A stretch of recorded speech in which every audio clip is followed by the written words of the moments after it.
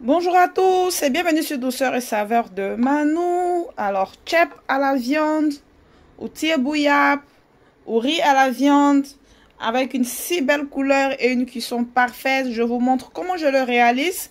Suivez cette vidéo, je vous montrerai étape par étape. Et si la recette vous plaît à la fin de la vidéo, posez un like, abonnez-vous si ce n'est pas encore fait et activez la cloche de notification. À tout à l'heure. Je commence ma recette en faisant frire la viande de mouton que j'ai lavée et découpée en morceaux.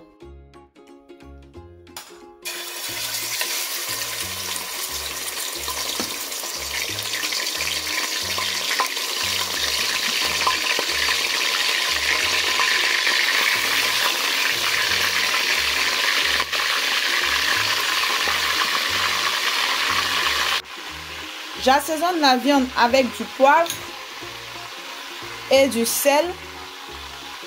Et je laisse frire la viande tranquillement. Et pendant que ma viande est en train de frire tranquillement, parce qu'il faut la laisser frire longtemps, je m'occupe de la marinade. Et pour cela, j'aurai besoin d'ail, de gingembre, d'oignons, euh, de poivron jaune, de poivre pilé, de poudre de curry, du sel et de poudre de curcuma. Le curcuma va aider à donner une forte couleur jaune. La poudre de curry seule suffira pas à atteindre la couleur jaune recherchée. Alors, je vais renverser tous ces ingrédients dans le bol du mixeur et les passer au mixeur. Assaisonnez très bien votre marinade avec ce que vous avez l'habitude d'utiliser, que ce soit du cube magie ou bien de la sauce soja, n'importe quel assaisonnement que vous utilisez parce que cette marinade là va servir à assaisonner non seulement votre viande mais aussi votre riz. Alors il faut qu'elle soit très bien assaisonnée.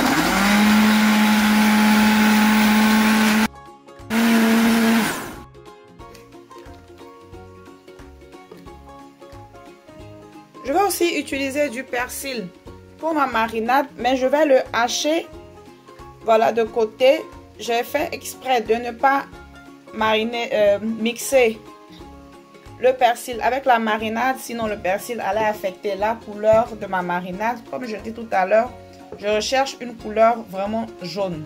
Alors le persil, je vais juste le découper et le rajouter. Au bout de 20 minutes, comme vous le voyez, la viande, elle a bien doré. Je vais maintenant rajouter la moitié d'un oignon que j'ai découpé en dés, ainsi que trois feuilles de laurier et une partie de la marinade que j'ai faite tout à l'heure. Je vais réserver l'autre moitié pour quand il sera le moment de rajouter le riz. Je le fais en deux temps parce que j'ai besoin que la marinade et la viande se mélange très bien. Voilà, là maintenant je vais refermer la casserole et laisser la marinade et la viande bien s'incorporer. Je reviendrai dans encore 10 minutes.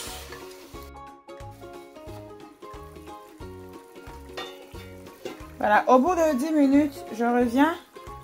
Maintenant, je vais rajouter les légumes en ce qui concerne les légumes, vous rajoutez vraiment ce que vous voulez ou ce que vous aimez. Moi, euh, je vais rajouter de la carotte, un poivron vert, de la patate douce, de la pomme de terre et des aubergines. Vous pouvez rajouter du chou, des aubergines violettes. Euh, vous avez le choix avec euh, ce que vous voulez. Et même du gombo, je voulais en rajouter, mais j'en ai pas eu. Voilà, au supermarché, quand il s'agit des produits africains, c'est vraiment de la loterie. On ne sait jamais euh, quand ils seront disponibles. Alors, je vais maintenant rajouter de l'eau. Ça, c'est le fond euh, du mixeur. J'ai rajouté l'eau dans le mixeur. C'est pour cela que l'eau a l'aspect jaune.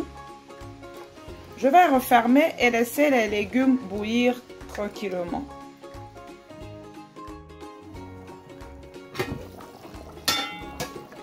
Alors, après une bonne vingtaine de minutes, je reviens pour retirer les légumes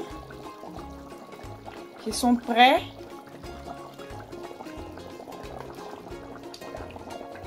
Je vais les réserver euh, dans une assiette à côté. Voilà, je vais les mettre au micro-ondes pour les maintenir au chaud.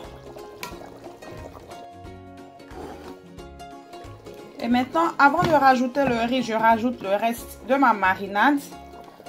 Le secret pour avoir un riz bien goûteux, c'est qu'il soit bien assaisonné. Et bien assaisonner son riz, ce n'est pas mettre beaucoup de sel, beaucoup de cubes. C'est plutôt un concentré d'épices et de légumes. Je vais aussi rajouter une cuillère à café de sauce soja. Il y a beaucoup d'ingrédients qui rentrent dans la préparation du riz parce que le riz, il absorbe beaucoup tout ce qu'on met comme légumes ou euh, comme assaisonnement. C'est pour ça qu'il est important d'avoir une bonne marinade bien goûteuse. Je rajoute aussi un piment.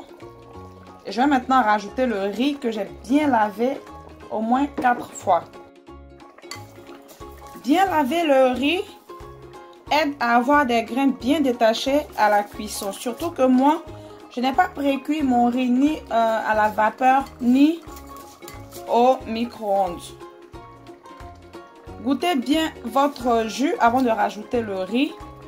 Et ayez la sensation que le jus il est un peu plus salé que la normale parce que comme je l'ai dit tantôt, le riz il va beaucoup absorber tout ce que vous avez ajouté comme assaisonnement et comme euh, épices.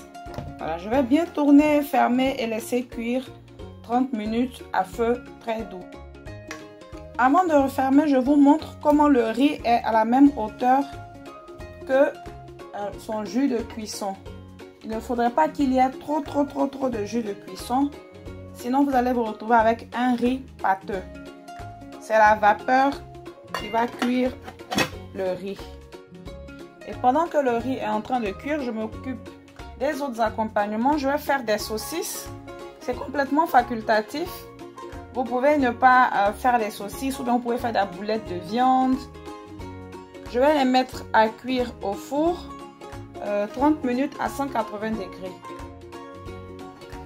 Au bout de 30 minutes, je viens vérifier mon riz.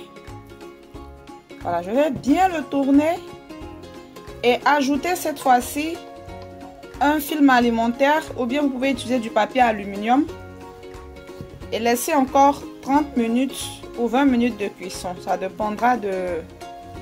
Voilà, vous touchez pour voir comment votre riz est. Comme deuxième accompagnement, je vais faire une salade de légumes. Voilà, une salade chaude.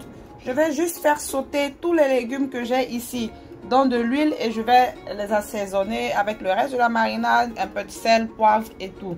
J'ai ici euh, des petits pois, du poivron rouge, de l'oignon, du piment et des bébés carottes.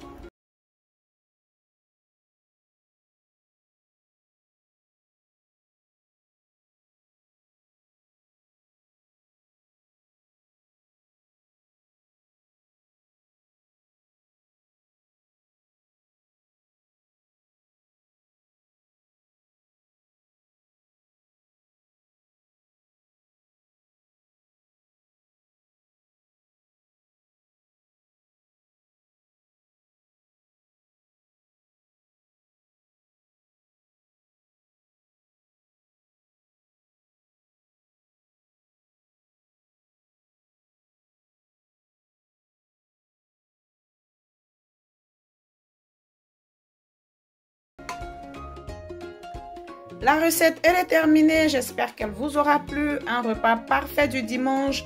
Repas pour recevoir des invités, des amis, de la famille à la maison. Si vous avez aimé la recette, posez un pouce bleu les amis.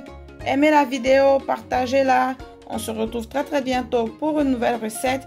Et si c'est votre première fois de passer sur ma chaîne, abonnez-vous, activez la cloche de notification. Il y a plein de recettes à venir, il y a plein de recettes déjà réalisées sur la chaîne. Bye bye.